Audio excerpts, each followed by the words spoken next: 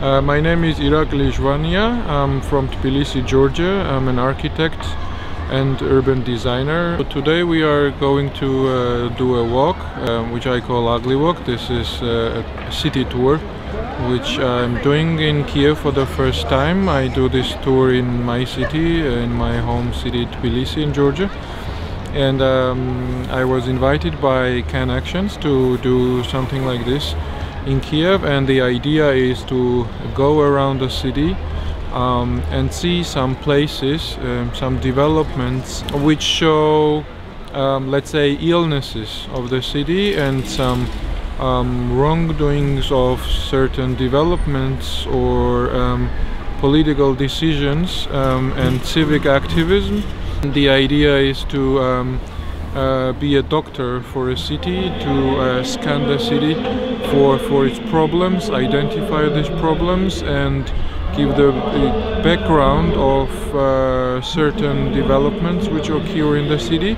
And this uh, background will cover many aspects from um, economic to political to social to architectural and planning and design qualities. And also uh, one of the main ideas is to see how the participants and the citizens react to be alarmed. And we want to give them a little bit more information about uh, how cities are generally developing what are uh, causes of certain problems.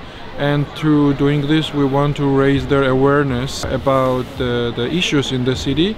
And we want them to be more interested in city development and urban development problems to be more proactive and vocal uh, in order to avoid uh, such problems and mistakes in the future and be part of the city planning and development processes which is also very important um, to have um, active civic society and support uh, democratic processes uh, through um, activism and um, being aware on urban development.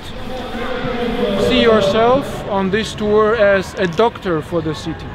So imagine you are not saying this city is bad, no. Every city is good, people in every city are good. It just, every city needs its improvement. So try to be a doctor and go around the city and like scan your your patient and tell him where is the problem you know and try to prescribe a medicine for the city to be healthier and more attractive and, and, and friendlier to you. Thank you. Thank you, thank you.